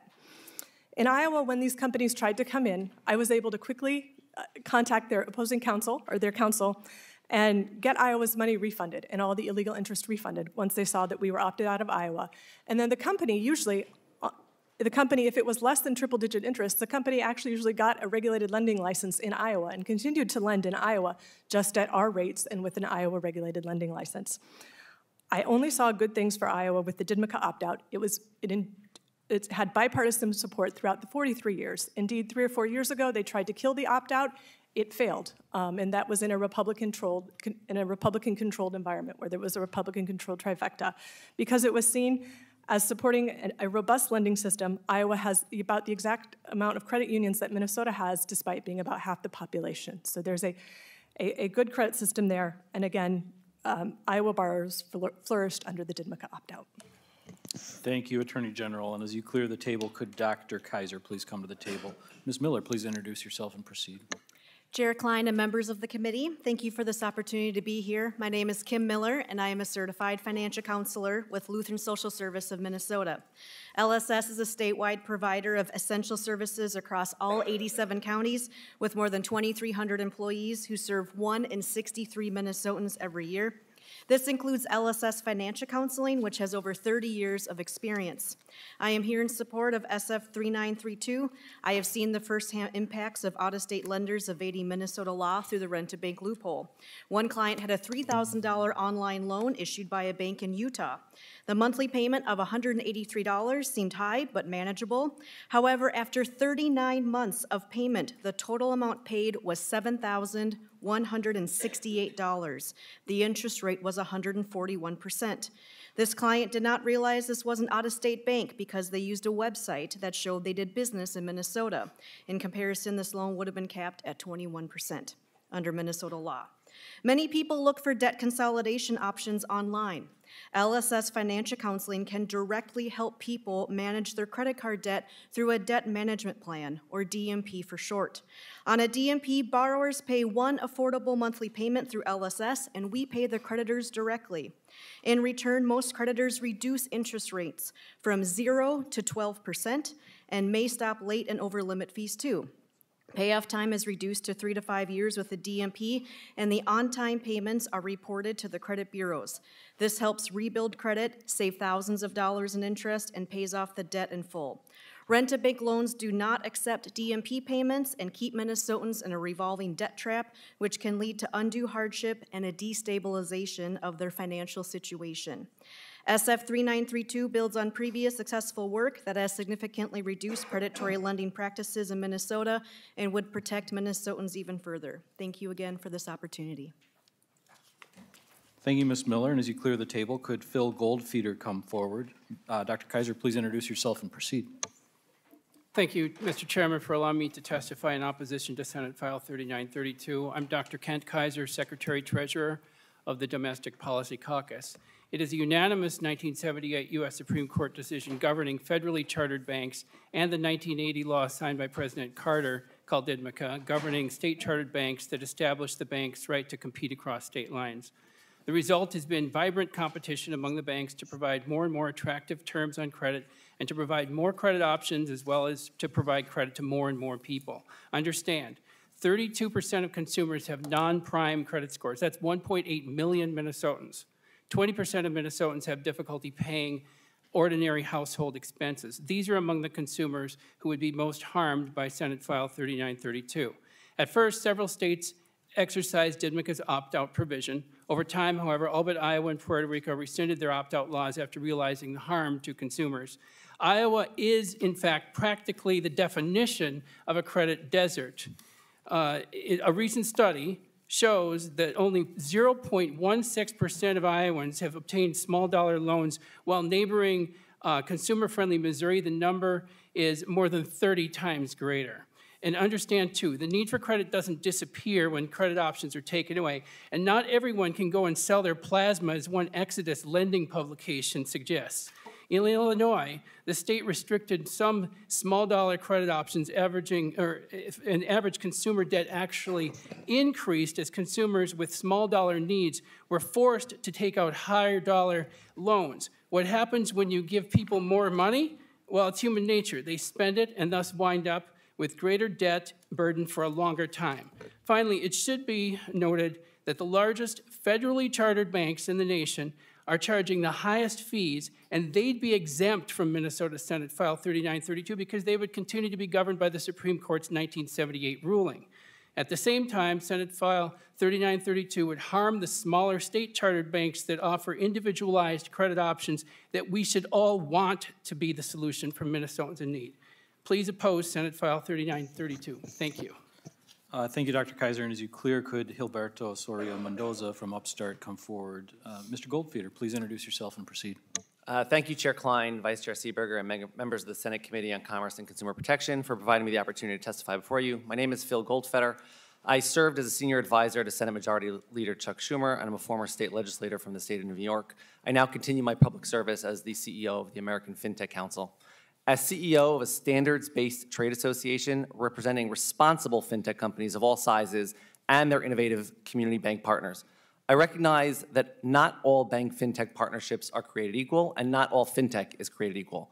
While AFC, while AFC members do not offer loans above 36% interest, other bank fintech partnerships do not hold themselves such a standard. In recognition of that, AFC agrees with the bill's intent of creating proper guardrails to ensure Minnesota consumers are protected from high-interest lenders operating outside the state's regulatory perimeter. However, this bill is a blunt legislative tool uh, to solve an issue that requires a significant amount of nuance.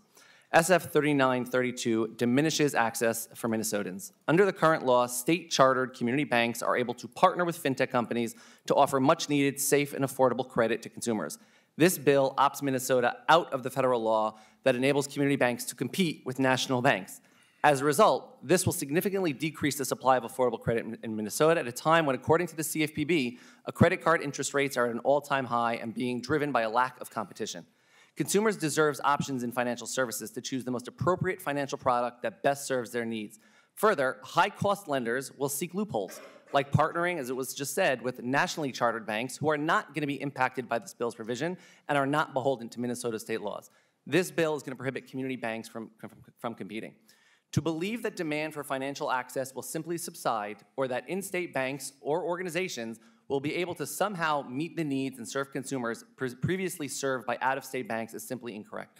What will happen is consumers, once responsibly served through bank fintech partnerships, will now either have no option for credit or be forced to engage with high-interest predatory lenders or nationally chartered banks that are un- unfortunately not beholden to Minnesota's rate caps.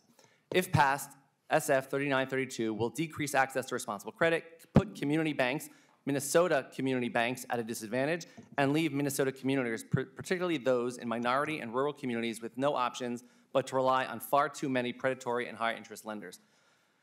Therefore, we respectfully request that this committee table this bill to consider the, the true nuance needed to properly solve the issues discussed and not harm hundreds of thousands of Minnesotans being responsibly served today by AFC members. I thank you again for the opportunity, and I look forward to the questions. Thank you, Mr. Goldfeder, and as you clear, could uh, Nicole Dogwell please come to the table? Uh, Mr. Soria Mendoza, please introduce yourself and proceed. Good afternoon, Mr. Chairman, Senator Gustafson, and members. My name is Gilberto Soria Mendoza, representing Upstart in opposition to Senate File 3932.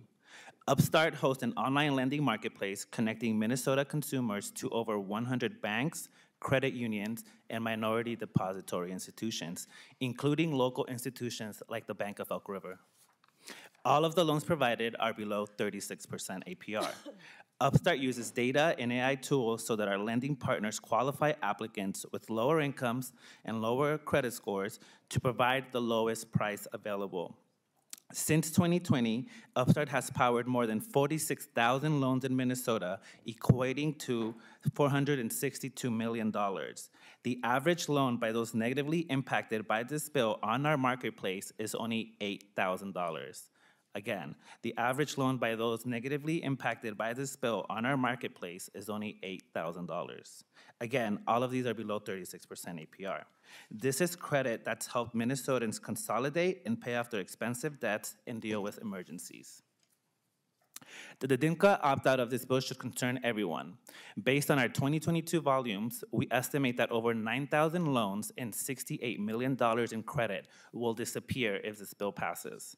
For example, someone who isn't able to pay off their $10,000 in credit card debt at 30% APR, they come to Upstart and get a loan at 23% A- 23% APR to pay it off immediately and benefit from the lower interest rate. Their credit score goes up. Further, Minnesotans who've accessed loans between 21.75 and 36% have an average FICO score of 646 and an average annual income of $64,000. These Minnesotans include people of color, renters, people in rural areas, and others who have lower incomes and credit scores, leaving them with fewer credit options. Certain Minnesotans cannot access loans from local lenders due to their low credit score, lower incomes, and other credit factors. Therefore, they seek capital from out-of-state lenders who are willing to provide them with options. Because of Minnesota's very low rate cap on larger consumer loans, this bill will make it impossible for out-of-state consu- community banks to offer affordable loans to consumers, particularly those in minority and rural communities. We look forward to working with you on constructive policy alternatives. Thank you for your time and consideration. Thank you, Mr. Mendoza, and as you clear the table, can Danielle Arlowe please come forward? Ms. Dogwell, please introduce yourself and proceed. Thank you, Mr. Chair and members of the committee. Thank you for your time today.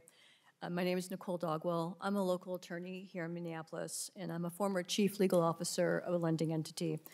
I'm now in private practice representing financial institutions, and I'm here on behalf of the Online Lenders Alliance. Um, I will, we've submitted a letter, and I won't repeat the, the prior testimony, but I did want to hone in on one, I think, very key point that I think is very important to consider before you pass this bill. We have significant concern of the unintended consequences of this bill. It's a consumer protection bill, but I think it has to be very careful because I think the consumers you're trying to protect may be hurt by this bill. Our experience is that consumers that take out these smaller loans are typically unbanked, underbanked, or credit constrained. In Minnesota, 10% of consumers are either unbanked or underbanked, and 28% are credit constrained. This is primarily consists of uh, single female households, so single moms and minorities. We just feel that this bill restricts access and limits choice for these consumers. And that's the biggest concern because this bill may be meant to protect these consumers, but if they don't have access or choice, doesn't mean their needs are going away. I, our position primarily is that we think this bill warrants further scrutiny and study. Um, I think that Colorado, as people have talked about, have passed this bill, uh, but they haven't implemented it because they're still evaluating how it's going to impact Coloradans. I think the same has to be done here before any kind of um, bill is passed that may end up injuring the people you're trying to protect. Thank you for your time. Thank you, Ms. Dogwell. Our final testifier is Danielle Arlowe. Please introduce yourself and proceed. Thank you so much, Mr. Chairman and members of the committee. I'm Danielle Fagre Arlowe, Senior Vice President of the American Financial Services Association. Our association is more than 100 years old. We represent the consumer credit industry, including vehicle finance, mortgages, traditional installment lending, and credit cards. Our members include everyone from small creditors operating in a couple states to some of the world's largest banks. We do not represent payday lenders, we don't represent title lenders, and we don't represent credit unions. I cannot overstate how concerned we are about SF 3932. Here's why. Opting out of DIDMCA has consequences for our members that have nothing to do with anything that's been discussed so far today. We have a number of members who don't partner with anybody. They don't rent out their charters to anyone. For example, a very large credit card company, some, I'm sure that there are lots of people in the room with their credit cards in their wallet, uh, from the outside looks just like a national bank but in fact, it's a state chartered bank that was formed after DIDMCA was passed in 1980 and operates just like a national bank because they're able to export their rates and fees just like a national bank does across the country and very competitively at very low rates. Another one of our members that looks just like a captive vehicle finance company from the outside is actually a state charter bank. Another one of our members is a captive vehicle finance company that is licensed by state as a non-bank, but they also have a bank um, as a liquidity option and as a financing option for vehicle floor planning, which is also known as extending credit to automobile dealers uh, to finance the cars in their showrooms that are on their lots or on their lots or funding consumer vehicle purchases for different brand names than their own. So they could finance, you know, if they're Acme Finance Company selling Acme cars, they can finance Beta cars, but they aren't do it under their own named financial institution. They do it under their bank. State opt-outs of DIDMCA pre prevent an existential threat to these members of ours. Again, this has nothing to do with renting a charter. After DIDMCA passed in 1980, seven states opted in pretty much right away, including Iowa. By 1998, every single state that opted in opted out except that it opted out of, of DIDMCA opted back in, except for Iowa. Why?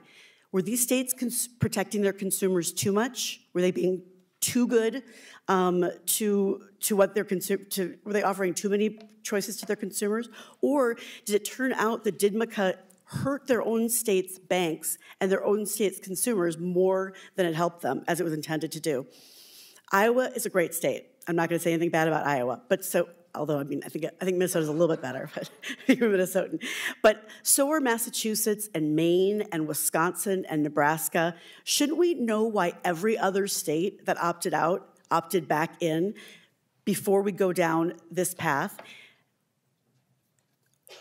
They, they, because they quickly reverse course. And you don't have to believe me. Ask any outside counsel at any law firm in the country who deals with these matters if right now, today, if someone comes to them seeking a bank charter, if they will recommend them seeking a state charter bank. The answer is no, not one of them, because just one state being the first state after 40 years to opt back out of DMCA, Colorado, which doesn't even go into effect until later this year, that has destabilized the market enough that it is too risky to recommend a new state bank charter.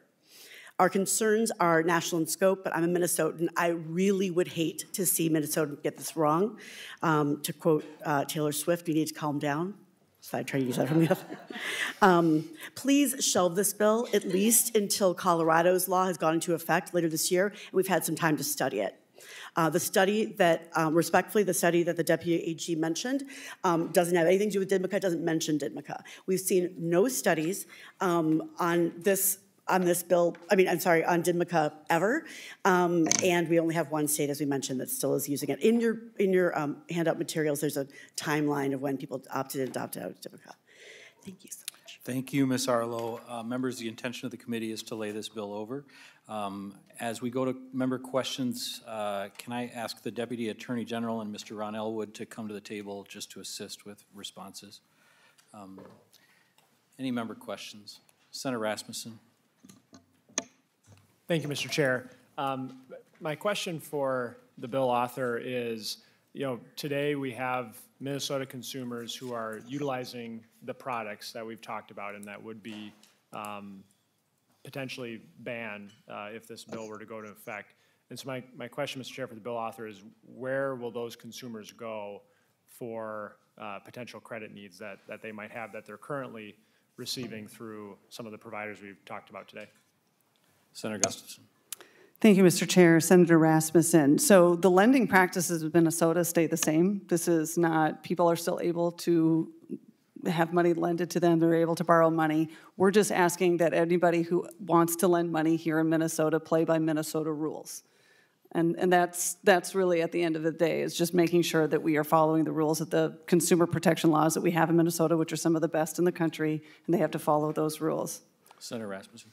Thank you, Mr. Chair, and thank you, Senator Gustafson. I guess my, my question is, um, you know, if, if we have a Minnesota consumer today who maybe because of their credit score or some other factor um, is getting one of these uh, consumer finance products, and now with this bill being adopted, that that product or that um, credit is now unavailable to them, where, where do you anticipate them going to get the credit access that they need? Senator Gustafson. Thank you, Mr. Chair. I will rely on my testifiers for more technical questions, but I will just say that, you know, we've heard testimony that this is not going to limit all lending options. There are still lending options that are available, but if you're taking out an $8,000 loan and then you're paying this enormous amount in interest rate back, then that is going to hurt you in the long run. And we heard lots of people talk about how this is supposed to be helping those who are in uh, communities that are traditionally underserved or marginalized, when in fact those are the exact term, or those that's the exact target, because they feel they can make more money off of those people. That's why we call it predatory lending. Um, and so there are other ways that you can borrow money. Um, I'll probably rely on my testifier to explain a little bit more about what banking practices are still available to Minnesotans. But what we're really trying to get at is that people aren't borrowing more money than they're able to pay back, and we certainly don't want to put people in a worse financial state than they're already in. So I'll just say, they couldn't get those triple-digit interest rate loans, which I don't think help them. I think are that concrete life preserver. They look like they're going to help them, and they sink the person into further debt and get them in debt traps where they roll over and refi and refi. Um, What they will be able to do is still find those mid, mid-rate loans that we've heard about. Like I was said in my initial testimony, they can get small dollar loans from Minnesota-based companies or companies that have gotten a Minnesota regulated lender license for up to 50%. And then anything over that small dollar lending lo- loan license um, or threshold is a blended rate of 33%. So I think they would turn to those local products. In Iowa, you saw them getting credit from those regulated lenders, from some of the very fintech uh, that fintech folks who were represented and testifying today who got the Iowa regulated license and then were subject to Iowa regulation. Um, and also, like credit unions in Iowa had robust small dollar lending programs, and as did the state banks. So. Senator Rasmusson. Thank you, Mr. Chair. And I, my, my concern with this is, you know, I, I think consumers are, are smart, and if they could find a product that was less expensive for them uh, through other providers through the state of Minnesota, that they would be doing that. And um, you know, this is a robust, competitive marketplace, Um, And I worry that what this is going to mean is that Minnesotans who today have access to credit, credit will no longer have access. And uh, one question I had, Mr. Chair, for the bill author is, you know, there was an example that was brought up by Upstart today where th- they talked about um, consolidating and refinancing credit card debt. And it's, it's my understanding from that testimony that this bill, if you had a Minnesota consumer who was paying a higher interest rate on their credit card, but was able to find a lower interest rate to refinance that credit card debt, perhaps consolidate that credit card debt, saving them interest payments, that this bill would uh, potentially prohibit that. And my, my question is, why would we do something like that where um, if someone could save on their interest rate, that we would prohibit them from doing so? Senator Gustafson. Thank you, Mr. Chair. Senator Rasmusson, first I'll just say that the, the, even the people who testified in opposition of this bill, the first thing they said was that the goal of their banks is to drive competition. So that's their number one goal. And they're going to use Minnesotans to try to increase their own bottom line. They're going to make it look like they're getting a deal, when in fact they're not getting a deal. What they are is getting pushed into something that is long-term going to be financially harmful to them and will put them in further financial trouble than, again, they're already in. Um, To answer your second question, I would probably rely on uh, my testifier, Mr. Elwood, if that is all right with the chair. Mr. Elwood. Um, Mr. Chair uh, and Senator Rasmusson, Ron Elwood with Legal Aid. um, It is not true that that would prohibit a reco- a consolidation loan. There are brick and mortar companies that are, reside here um, that would happily do that and uh, do it today. Senator Rasmusson. Thank you, Mr. Chair, and, and thank you to the bill author and the testifiers. I, I guess, you know, to, to cite a, a potential specific example, if we had someone who is paying a thirty-five percent interest rate on their credit card, and through uh, a, another credit source was able to find uh, a twenty-five percent interest rate to consolidate, it's my understanding that this bill would prohibit that consumer from seeking that lower interest rate to consolidate their credit card debt. Mr. Elwood. Well, I, I don't think that, uh, Mr. Chair and Senator Rasmusson, I don't think that's true. As I said, there are uh, finance companies here that are regulated under Chapter 56 that lend under Minnesota rates, which are pretty high as a maximum, 21%, uh, or a blended rate of 33% and and 19%, depending on the amounts. Um, And those companies are housed here. They have brick and mortar um, uh, presence here. They employ Minnesotans here, and they make those loans. And, and I would imagine that their business would increase, and, and it would help, uh, and, and also credit unions uh, that lend under Minnesota law. They're the, there's a um, uh, letter in your packet from the Minnesota Credit Union Network that supports this bill. Um, you, I don't, you didn't see a single Minnesota lender up here uh, say, suggesting that this is not a good bill. So um, I guess that's the answer to that question. Senator Rasmusson. Thank you, Mr. Chair. I guess the, the comment I would make is, um, you know, everyone would like to have lower interest rates um, for credit products. And I guess my concern is we have Minnesotans today who are using these products who perhaps could not find alternatives if this bill were to pass. And we have examples of situations where people could be saving money on interest rates that will be prohibited. And, you know, we talked about the uh, 21.75% cap. Um, We might have some Minnesotans that uh, the local institutions might not be willing to take on the credit risk for those individuals, and they're stuck paying a higher uh, uh, interest rate to their credit card company than what they could find uh, today in the marketplace. So that's my concerns, Mr. Chair, with the bill. Um, It's just that we're going to restrict access to credit for Minnesotans and potentially restrict them from saving money. Senator Dahms. Well, thank you, Mr. Chair, and I've been around now for 14 years, and this bill, a bill similar to this has been up every year. And Mr. Elwood, you and I have had many conversations over the years on this issue. But what I find interesting is last year we had a bill up, and there were people testifying stating that there were all kinds of institutions that would be good players in this, that they'd be willing to play in the market. We had to get rid of predatory lending. So that goes on, that, that hearing goes on. Within one or two committee meetings after that, The whole atmosphere, the whole, the whole atmosphere changes. No longer were there all these banks and stuff out there that were willing to do this, like we were told when we heard the original bill. So then what we did is we put five hundred thousand dollars into Exodus so they can make this work. So I find it kind of interesting, and again today, here we are talking about these same things. Yet what we did last year has not changed anything in driving these rates down.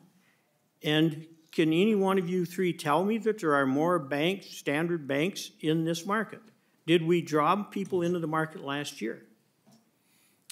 Uh, do any of the testifiers want to field that? You, you have, Deputy Attorney General. you have a, I, I don't think there's been a, a study commissioned on sort of the Minnesota credit atmosphere post that, the enactment of that and post it going into effect.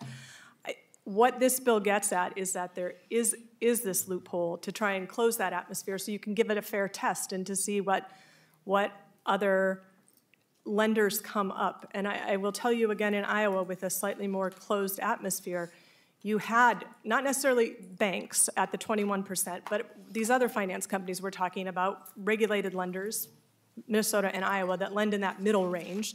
And you had more space there, and you had more brick and mortar buildings come up, and, and smaller local institutions, as well as nationwide fin, fin, com, financial companies um, base themselves there. So. Follow up, Mr. Chair? Yep. So uh, Deputy Attorney General, do you, can you answer, can you tell me what your thoughts are? If predatory lending goes away, do you think we're going to get smaller banks participating in this at lower interest rates? And if you do, why did it not happen last year? I don't know if you'll get banks. I, I'm going to be honest with you. I don't see state banks filling this niche very much. I you see fa- state credit unions doing it. And in Iowa, when I saw the numbers that Iowa had the same amount of state credit unions as Minnesota, despite half the population, to me that was very telling. The Minnesota credit or the Iowa credit unions were very active in this space as those there, there was some high interest loopholes closed in Iowa over my, my tenure, and, and they became more active. It, it, it is our dream that, that they become more active. I, I will also tell you, I don't necessarily believe that the triple digit interest rate having it available is a good thing because I've seen too many borrowers in distress and I've seen it harm too many people. And I don't know that just because the credit's there, that's a signal of, of financial health. Senator Day? Follow up, Mr. Chair. So last year, we made some changes and it didn't bring any new players into the marketplace. So no matter how you cut it, we dried up some credit for some people. So my question is, what do we want to accomplish here? How much pain and anguish do we want to call, cause in order to get a problem resolution to a problem? If you're going to take all of these predatory lenders out, and I don't like predatory lenders, but if we're going to take them out, there are certain people that need to have that access for funding. And without it, what are going to happen to those people? And Mr. Elwood, you and I have had this conversation many times. And at one point, you made the, some, uh, I'll, I'll say a comment close to this, was, well, maybe, maybe we, if we get the predatory lenders out, maybe these folks won't be able to continue to borrow money because they won't have access to it.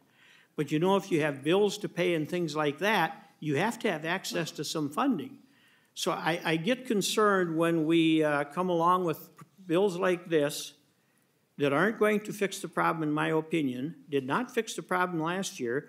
And so the talk about bringing banks in, we turned around then and put a half a million dollars into one institution in order to try to solve this. Is that the direction we're going to go again this year? Mr. Elwood? Uh, Mr. Chair, members, um, first of all, I think th- have to focus on the fact that what, last year's bill was focused on loans that were for two weeks long. This is, these are for lenders that are lending, it's a, they're, they're installment loans, they're different, different, it's a different product. So that's number one, they're two different customers, uh, bases.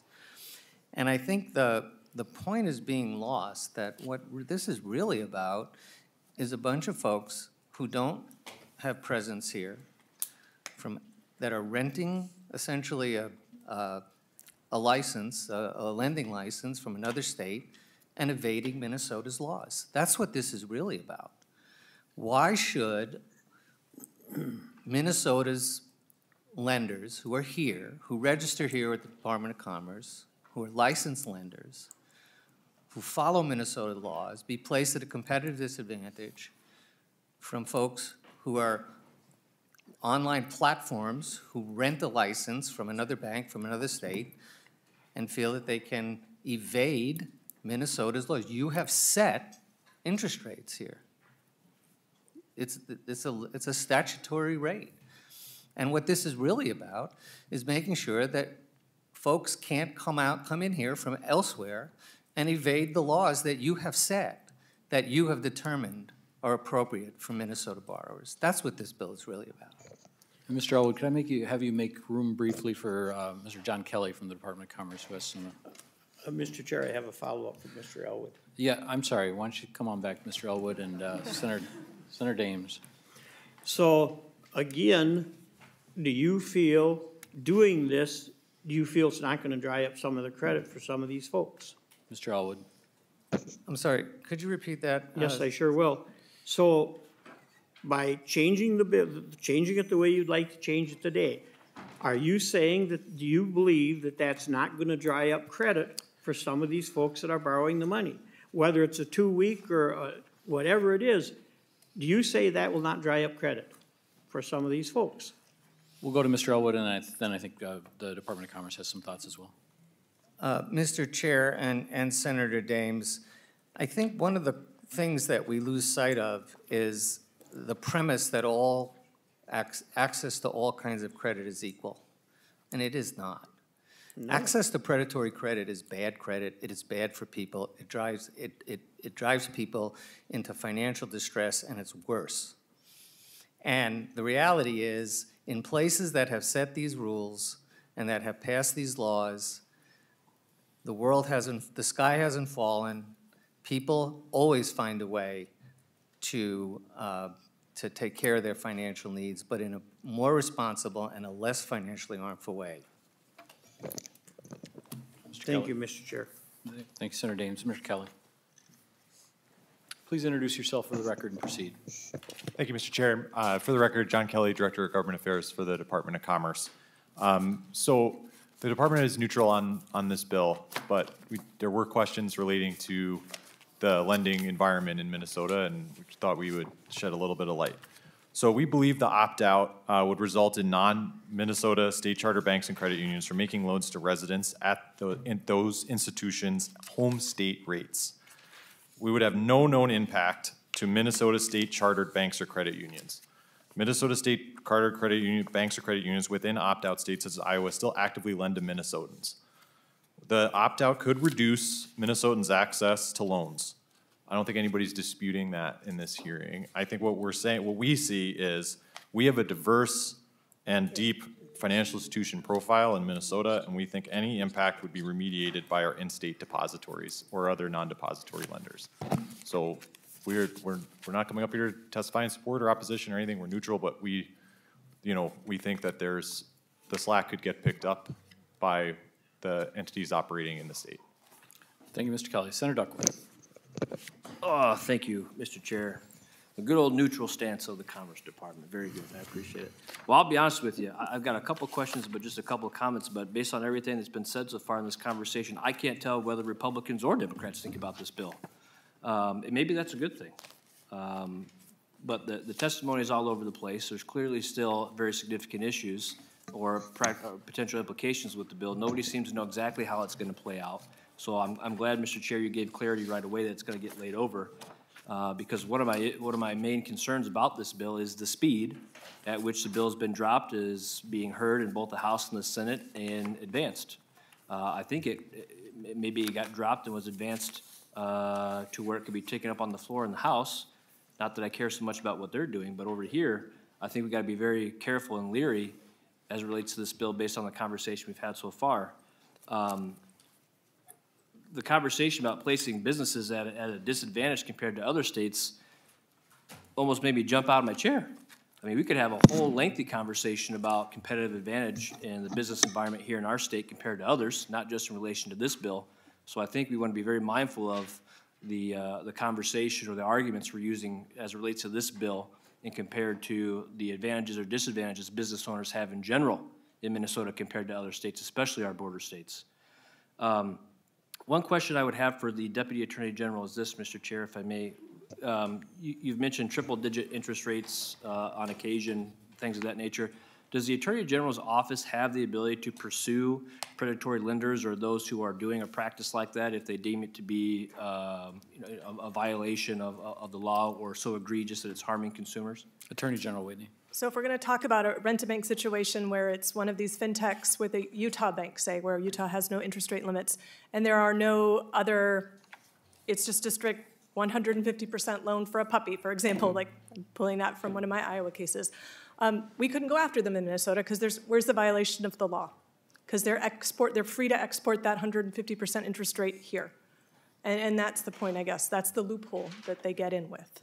Now, if they were doing something else, and if we think they're hiding the ball or there's some deception, that, then we could go after them. But if it's just strict uh, fintech loan partnering with a, a, a, a out-of-state bank, no. Senator Duckworth. Uh, Thank you, Mr. Chair, and thank you uh, for that answer. I appreciate it.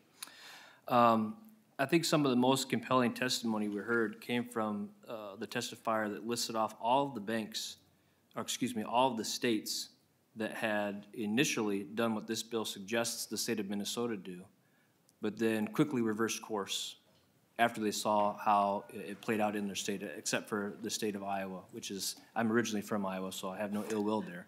Uh, But to me, if that's not uh, compelling enough reason to, to more closely examine this bill and its potential impact, uh, I don't know what else uh, there is.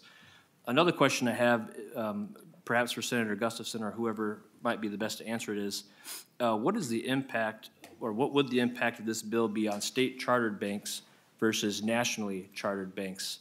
And really what I'm asking is, are nationally chartered banks essentially exempt from what this bill is calling for, or would it apply to them as well?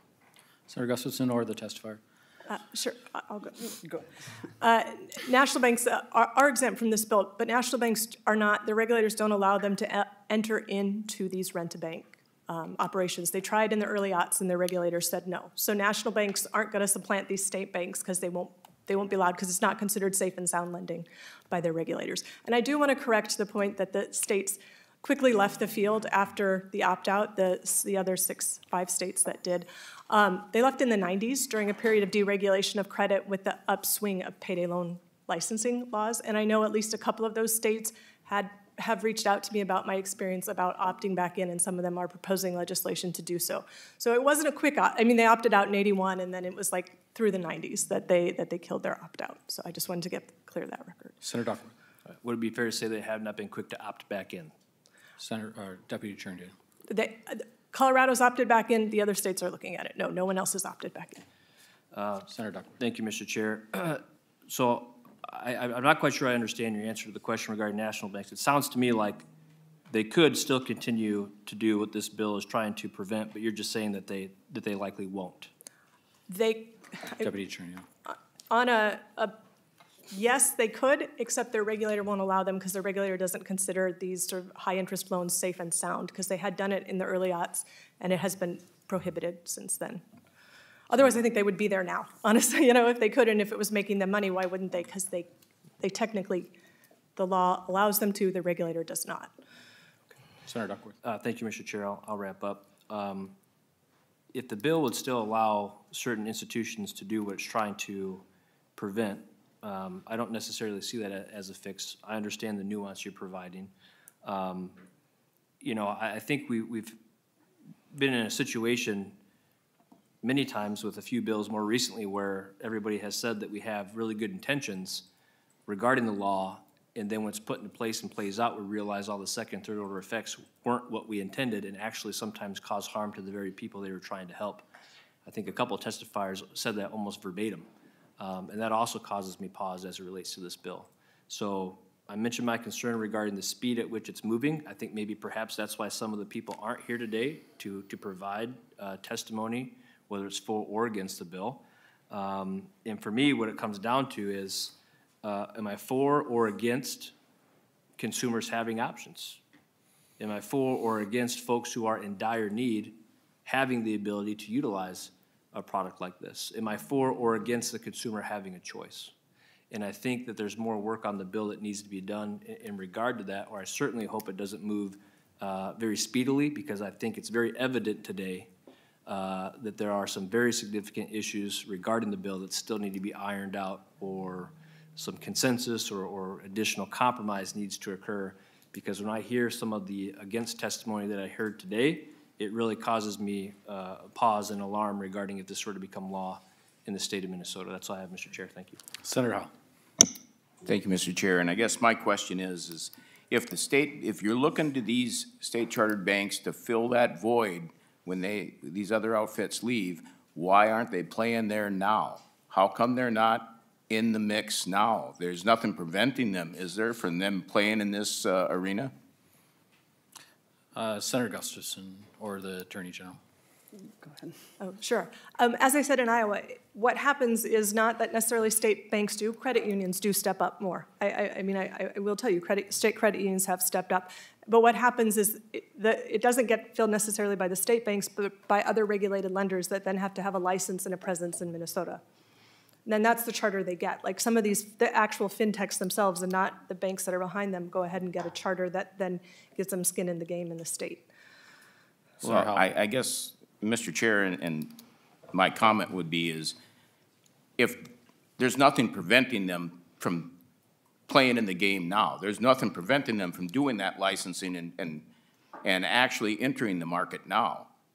And so if the market is available to them, uh, and I'm a big believer in the market should drive everything, why isn't the market available to them now? And why, if they're available, if they can get in there and, and do that, I don't see why they're not in that game currently. And that's, I guess, my comment. Thank you. Any other member questions or comments? Senator Gustafson, I'm going to let you give some closing comments before we end, but just a couple of comments of my own. Um, Legislators before us decided that there was something that was safe for Minnesota families, that interest rates above a certain percentage were harmful to individuals and damaging to families. Uh, And that's a law that we passed in the state of Minnesota to protect people from that.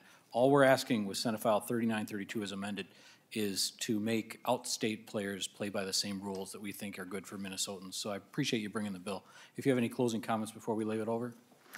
Uh, Thank you, Mr. Chair. I just, it, it sort of reminds me of, you know, back in, during the housing bubble, where there were a lot of really good offers to buy a house, and everybody was sort of pressured into doing that, and a lot of people bought houses that they couldn't afford, and they were kind of led one way because that's what it looked like.